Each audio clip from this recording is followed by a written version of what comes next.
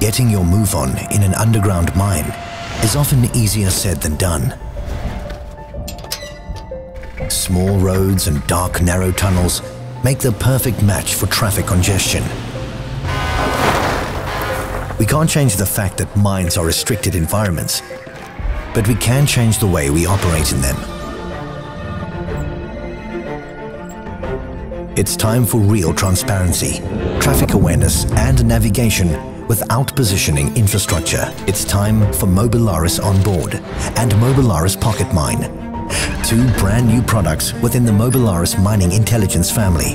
A major step towards more information-driven underground mine operations. The products run on an ordinary tablet connected to your vehicle or on a smartphone, like the one in your pocket. Let's make the power of Mobilaris Mining Intelligence available for everyone in the mine. Him and him, her right there, and even that vehicle.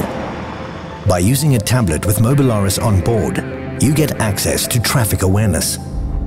You and your co-workers can now navigate safely in the mine and avoid one reoccurring problem. Traffic congestion. A problem often solved with expensive infrastructure and technologies, if ever solved at all. Mobilaris Onboard works differently. No new infrastructure is needed, yet you get 5 to 10 meters positional accuracy. All thanks to our patent-pending innovation, Mobilaris Hybrid Positioning, Combined with our other platforms, you'll now know what obstacles are in your way, avoiding disturbances, staying safe and keeping up the good work. And when you're in an area without any network, you can still see where you are. Once you are reconnected, everybody can see your position again.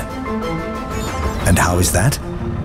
While connected to the network, Mobilaris Onboard and PocketMine download all necessary data. This gives you the right information even when you are offline. The result?